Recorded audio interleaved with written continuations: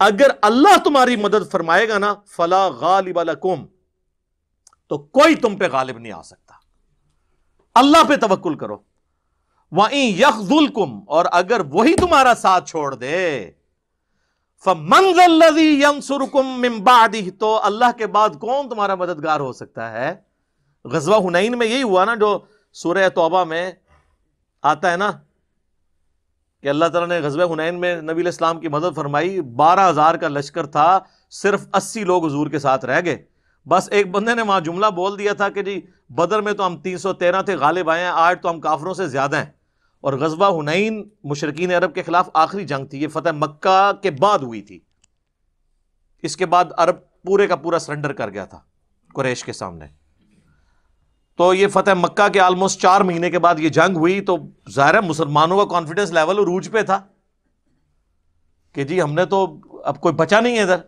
तो ये कबीला आवाजन के लोग क्या करेंगे? तो एक साथी ने बोल दिया कि आज हम गालिब आएँगे क्योंकि हमारी तादाद ज़्यादा है। अल्लाह ने इस बात का इतना बुरा मनाया कि अल्लाह ने नहीं फिर देखा कि अल्लाह के नबी मौजूद हैं इसमें। बाकी कालमुल ईमान मोमिन मौजूद हैं। ऐसी भागदड़ मची कि सिर्फ़ अस्सी बंदे नबी इस्लाम के साथ रह गए। बारह हज़ार का लश्कर में से अस्सी बंदे बाकी सब छोड़ के भाग गए। और अल्लाह के नबी इस्लाम अकेले आ गए अपने उस पर खच्चर पे सवार और रिज पढ़ते हुए। अनन नबी ला कजिब। इस ये कोई झूठ नहीं है मैं अल्लाह का नबी हूँ और मैं अब्दुल मुत्तलिब का बेटा हूँ। और फिर आप ने यूँ ज़मीन से मुट्ठी भरी। आ, सही मुस्लिम में आता है और यूँ काफरों की तरफ़ फेंकी। तो कोई काफिर ऐसा नहीं था कि जिसकी आँख में ना वो पड़ी हो और वो उनका लश्कर पसपा हो गया। और इसका ज़िक्र अल्लाह तला ने कुरान में सूरतुलफाल में भी किया है। वमा रमईता इज़ रमईता वला किन रमा। वो जो आपने कंकरियाँ फेंकी थी ना, वो आपने नहीं फेंकी थी, वो अल्लाह ने फेंकी थी।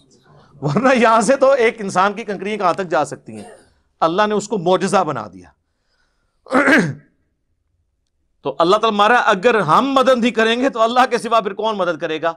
वाह फल यतवक्मिन और अल्लाह ही पर तवक्ल करना चाहिए अहल ईमान को। अल्लाह मिन आमीन। वला वला इल्ला आमीन। वमा कान अली नबी किसी नबी की ये तो हो ही नहीं सकती कि वो ख्यानत करे। अब ये मुनाफिकीन बातें करते थे ना कि कोई इनके अपने ज़ाती बेनिफिट्स हैं, उसके लिए सब कुछ करते हैं। अल्लाह ने फरमाया, नबी की ये शान नहीं कि वो ख्यानत करे। उसका ज़ाहिर का एजेंडा कुछ और हो और बातिन का और हो। ये दुनियादार हुक्मरानों और जंगजुओं के मसले होते हैं। वह मैं यगलुल याति बिमा गल्ला यौमल और जो कोई ख्यानत करेगा ना तुम में से भी तो अपनी ख्यानत लेके आएगा साथ क्यामत वाले दिन। अल्लाह ताला उसका फिर बदला देगा और सजा डालेगा तुम पर। सुम्मत वफ़ा कुल्लु नफसिम मा का सबत फिर तुम्हें बदला दिया जाएगा पूरा पूरा जो भी तुमने किया होगा। वहुम लायुजलमून और उन पर जुल्म नहीं किया जाएगा। यानी हर जान अपने अमाल लेके आएगी। वह मैया अमल मिसकाल जर्रतिन खई रही फ़मैया अमल मिसकाल ज़र्रतिन खई नहीं यरा वमैया अमल मिसकाल ज़र्रतिन शर नहीं यरा। जर्रे के बराबर भी नेकी की होगी, वो भी देख लेगा।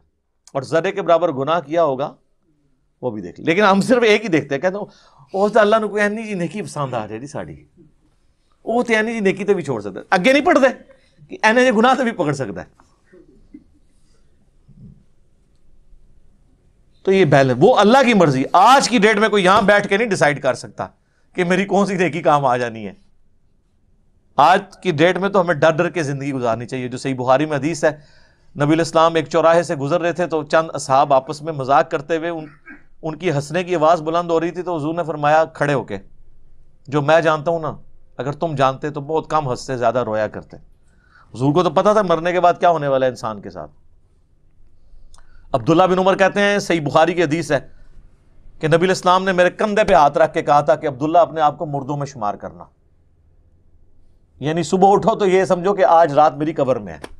वैसे इस तरह जिसकी ज़िंदगी गुजरे ना, वही इंसानों वाली ज़िंदगी गुजारता है। डेली बेस पे डिसाइड करें कि आज मेरी नमाजें पूरी हैं, आज मेरे बीवी बच्चों माँ बाप के हुकूक पूरे हैं, आज मेरा जो सारे के सारे मामलात हैं, उसमें कोई झोल तो नहीं है, और रात को एहतसाब करके सोएँ। डेली बेस के ऊपर प्लानिंग करके ज़िंदगी गुजारें तो फिर इंसान जो है ना वो कामयाब हो सकता है। अदरवाइज़ बड़ा मुश्किल है। ये तो नहीं है कि वो हफ़्ते में एक दिन जुमे की नमाज़ पढ़नी है और साल में दो दफ़ा ईद की नमाज़। ये बड़ा मुश्किल सौदा है।